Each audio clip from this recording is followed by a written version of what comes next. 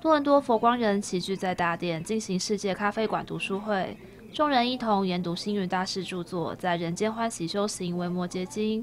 读书会由国际佛光会多伦多协会副会长陈静怡主持，七十多位书友以英文、中文和粤语分成十组，展开热烈的交流讨论。跟大家一起学习之外，你自己其实是怎么样？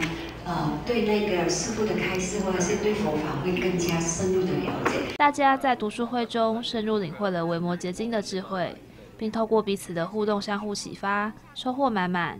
人间新闻加拿大多伦多综合报道。